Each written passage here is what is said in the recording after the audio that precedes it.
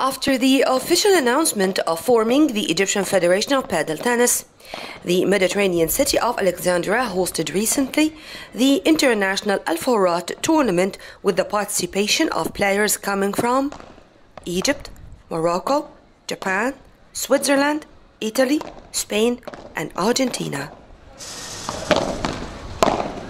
Uh, this is the first time that our club um, have uh, the FIP Rise Al Furat.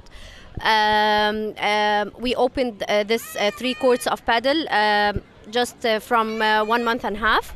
Uh, so we're uh, so glad, glad that, that we, we have this the rise here.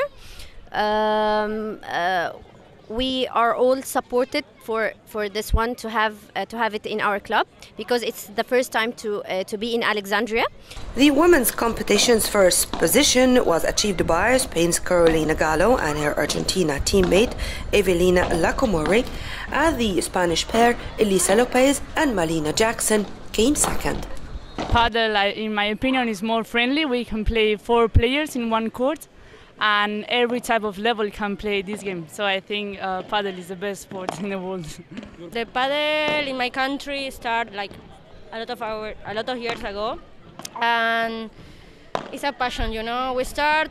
Uh, most of the players they start with tennis, and then for because it's very expensive or different reasons, uh, reasons uh, we start with paddle. And when you play paddle for first time, halas, you can't stop. It's a we love the sport. This sport is amazing, and now it's completely the, the the people is completely crazy with this sport. It's amazing.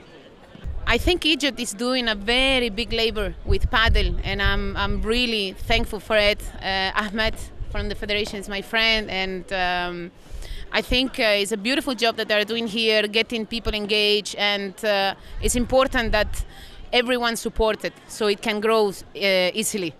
Tennis paddle is a mix between racket games, tennis, squash, badminton, and is relatively an inexpensive game. So it's gaining popularity among different age and social categories. Same procedures, exactly the same scoring system. We are starting 15 love. We are playing like uh, three sets, uh, almost the same, same uh, technique, but little bit different when it's bounce and uh, uh, hit the fence, it's a little bit uh, different about the tennis. We don't have fence in the tennis, but we have, have fence and the glasses, uh, but the scoring system is exactly the same.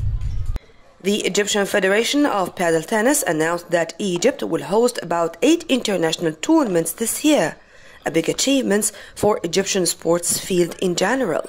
I used to play tennis like when I was four years old. Then uh, I was a national champion first uh, ranking first on Egypt, played African Championships. Then like uh, when I was 20s, I'm I went to med school. Then like I had no time, so I changed to play paddle. Yeah, like we trained a lot. Yeah, the good experience. Al Furat tournament prizes reached 7,500 euros and was listed on the International Federation agenda. Nermin Abdurrahman for Nile TV International.